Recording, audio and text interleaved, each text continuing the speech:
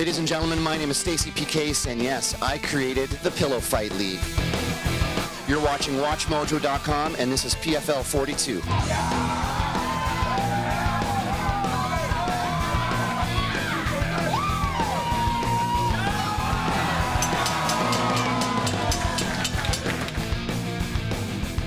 Ladies and gentlemen, I created the Pillow Fight League as an idea in 2004. my name is Stacy P. Case, and I am the commissioner of the Pillow Fight League. I launched the league officially in 2006. Came out of a discussion with a friend of mine about how there's no straight up fight sports for women. Who's here for the first time who has not seen the Pillow Fight League?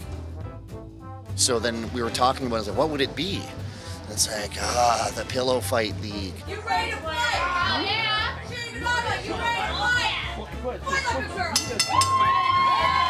girl. You might just think it's two girls fighting. No, no, no, no, no, no. There's a boss, me. I wrote the rules to pillow fighting, and I want them followed. I'd like to introduce our senior referee for the evening. My name is Champagne, P A I N. The rules are pretty simple. The pillow must be the point of contact. 90 seconds remaining in the first round. You can, however, like do any move as long as the pillow is there.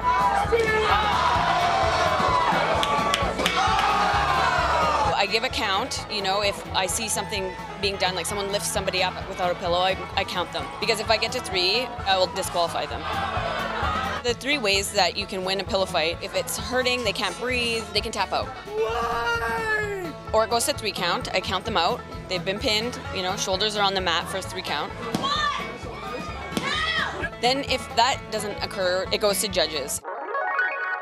I am the senior judge for the Pillow Fight League, and we usually will roll in two guest judges or sometimes pick people from the audience. This guy! This guy! This guy! There are four conditions to look for while judging. There is style, stamina, fight control, and Eye of the Tiger, which is sort of the look of intensity. And I tell anybody who comes in and judges, look, those are your four categories, but you weigh those out any way you feel in your vision and your heart. For me, I'm really big on the Eye of the Tiger. I like to see them go in there and want it. Somebody's got to be me. Somebody's got to be the bad guy. Somebody's got to be the boss. You guys are fighting the rest of the night. You guys are going to fight so hard, I'll make my decision at the end of the night. They know the rules, and I make sure they're enforced. I've had some turn around and like stare right through me like they're gonna kill me. And I just sit there and I smile. We're on our way. We've worked out all the kinks. We've worked out all the stuff. Now it's just, yeah, it's a lot of fun right now.